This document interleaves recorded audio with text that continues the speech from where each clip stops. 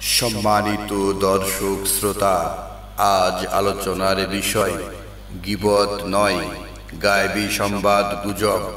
এই আলোচনা কোনোভাবেই কোনো ব্যক্তি বা কোনো গোষ্ঠীর ধর্মীয় অনুভূতিতে আঘাত প্রদান করার উদ্দেশ্যে নয়, বরং মহান আল্লাহ তালার বাণীকে উচ্চকিত করার উদ্দেশ্যে করা হবে ইনশা আল্লাহ সম্প্রতি বছরগুলোতে গুজব ভয়াবহ মহামারীতে রূপ ধারণ করেছে। মহাগ্রন্থ আল কোরআনে কীভাবে গুজবকে চিত্রায়িত করা হয়েছে আমরা আলোচনা করব। তার আগে মাওলানা মিজানুর রহমান আজহারি গিবতকে কীভাবে সংজ্ঞায়িত করেছেন, আসুন আমরা শুনি। গিবত পরনিন্দা সম্পর্কে বলেন। এটা তো খুব ভয়ঙ্কর অপরাধ, গিবা। বিষ্ণু ইসলাম বললেন, আতাদ্রুন আমাল গিবা? তোমরা কি জানো সাহাবারা গিবত কি? সাহাবারা বলল, আল্লাহ রসুল আলাম। হে আল্লাহ রসুল, আপনি এবং আল্লাহ ভালো জানেন। বিষ্ণু ইসলাম বললেন জিক্রুকা আখা বিমা ইয়াকরাহু।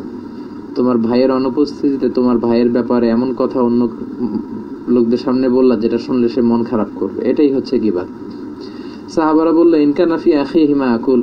আল্লাহ রাসুল, আমরা যদি তার মধ্যে যেই সমস্যাটা আছে এটাই যদি বলি তার অনুপস্থিতিতে রাসুল বললেন, এটা বললেই তো গিবত হবে। আর বানিয়ে বানিয়ে বললে তো তহমাত হবে তার উপর। তো গিবত এটা অনেক বড় ধরনের একটা পাপের কাজ। এই ব্যাকবাইটিং থেকে আমাদেরকে বেঁচে থাকতে হবে।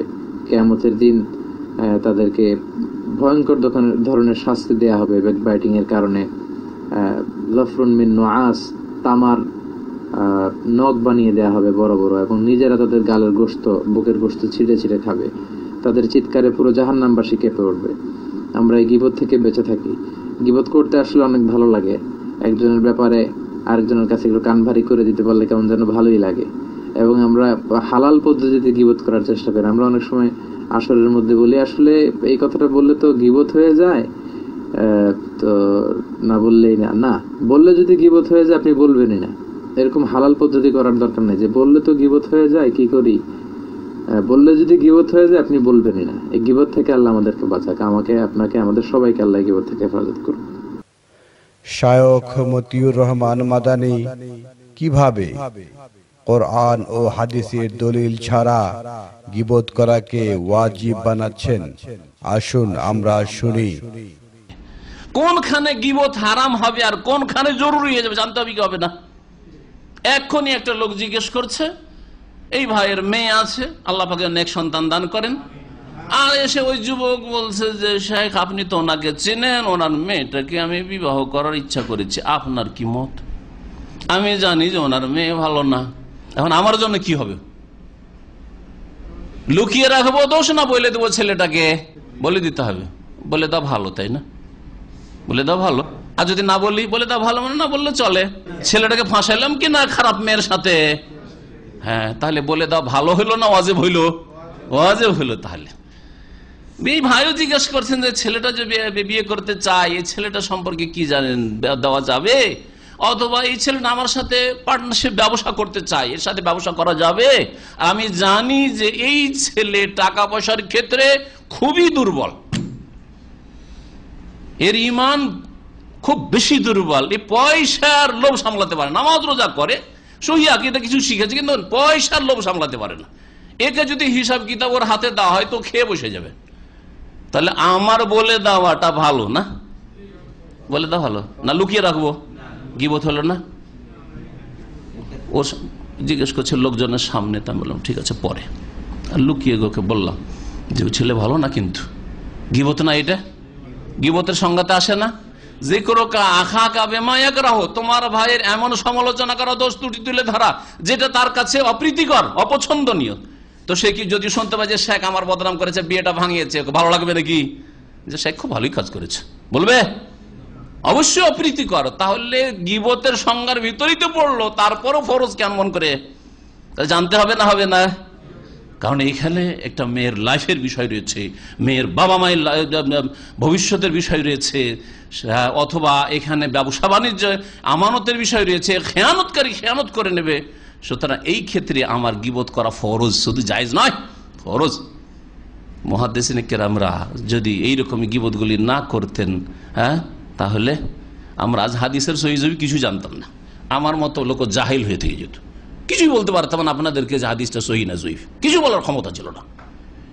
কিন্তু ইমাম বুখারি তার কিতাবে, তারিখে বলেছেন যে মুনকারুল হাদিস তো আমরা বলি না সময় দাজ্জাল শুনেছেন?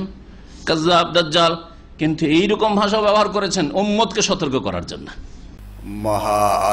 গ্রন্থ আল কোরআনে, এ প্রসঙ্গে কি বলা হয়েছে? আসুন আমরা দেখি।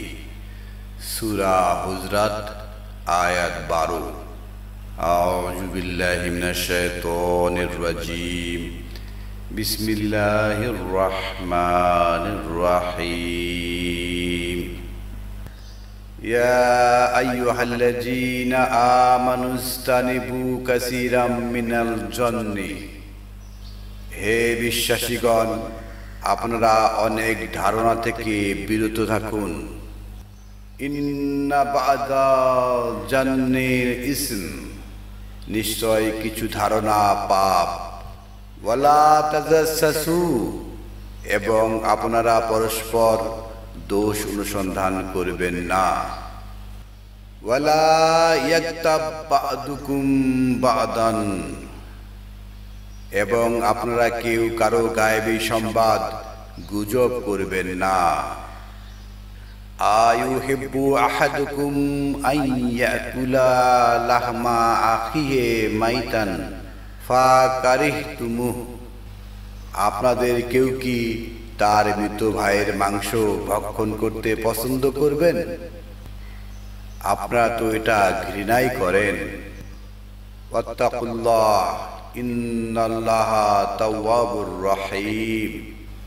আল্লাহকে ভয় করুন। নিশ্চয় আল্লাহ ফেরা লোকদের প্রতি পরম দয়ালু।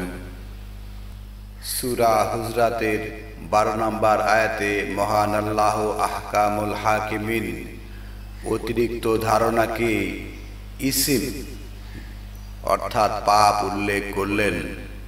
তারপরে এই অতিরিক্ত ধারণাকে ব্যাখ্যা করলেন, অলা তাজাসু আপনারা একে অপরের দোষ অনুসন্ধান করবেন না।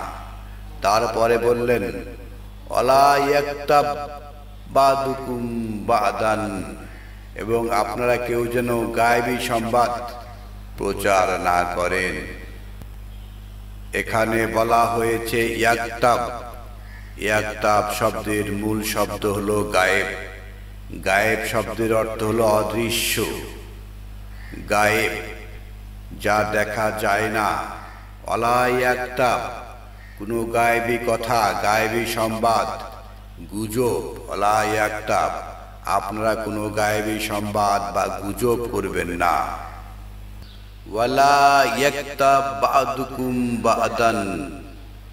আপনারা কেউ গায়েবী গুজব সংবাদ করবেন না। বাদুকুম আপনাদের মধ্যে কেউ বাদান, অন্যজনের। গায়েবী সংবাদ পরিবেশন করবেন না একজন অন্যজনের। এই আয়াতের শুরুতে বলা হয়েছে, ইয়া আমানু, হে বিশ্বাসী লোকেরা, এখানে এই বিষয়গুলো কোনোভাবেই অবিশ্বাসী লোকদের ক্ষেত্রে প্রযোজ্য নয়।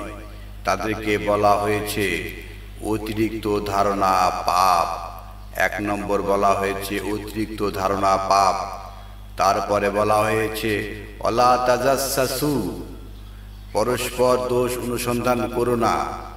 কাদের? সেটা হলো ইমানদার লোকদের মধ্যে পরস্পর দোষ অনুসন্ধান করতে না করা হয়েছে। এই আয়াত কোনোভাবেই সার্বজনীন নয়।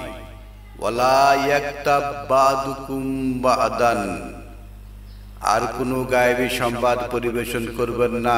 আপনাদের মধ্যে কেউ অন্যের। এখানে বিষয়টা সার্বজনীন হয়ে গেল। এখানে বিষয়টা কোনো গোষ্ঠীর মধ্যে আর সীমাবদ্ধ রইল না। কোনো মমিন ব্যক্তি, অন্য কোনো ব্যক্তির কোনো ধরনের গায়েবী সংবাদ পরিবেশন করতে পারবেন না। অন্য কোনো ব্যক্তির গায়েবী সংবাদ, সে ব্যক্তি মমিন হতেও পারে, মমিন নাও হতে পারে। কারও কোনো ব্যক্তির কোনো ধরনের গায়েবী সংবাদ পরিবেশন করা বৈধ নয়। বর্তমান সময়ে গায়েবীকে গিবত বলা হয়ে থাকে। ওয়ালা ইয়াকতাব, আপনারা গিবত করবেন না বলে যে অনুবাদ করা হয়, তাহলে সম্পূর্ণ ইতিহাস অর্থাৎ ইসলামের ইতিহাস পড়া বলা নিষিদ্ধ হয়ে যাবে। খবরের কাগজ, রেডিও, টেলিভিশনে যে সমস্ত সংবাদ পরিবেশন করা হয়, সকলই গিবদের আওতায় পড়ে যায় এবং এগুলো নিষিদ্ধ হয়ে যায়। সত্য বদনাম সামনে করা যাবে, পিছনে করা যাবে না, এরূপ কথা চালু আছে। আমরা জানি সুরা হুজরাতে বিসমিল্লাহ রহমান রহিম ওয়াইলুল্লি কুল্লি হুমাজাতিল লুমাজা। তাদের ধ্বংস যারা সামনে এবং পিছনে বদনাম করে থাকে। মহান আল্লাহ আহকামুল হাকিমিন এই আয়াতে সকল ধরনের মিথ্যা সংবাদ পরিবেশন থেকে বিরত থাকতে বলেছেন। আমাদের এই আলোচনা আপনার ভালো লাগলে আপনি আমাদের এই চ্যানেলটিকে সাবস্ক্রাইব করুন এবং পাশের ঘণ্টার ধ্বনি আইকনে ক্লিক করুন। أن الحمد لله رب العالمين.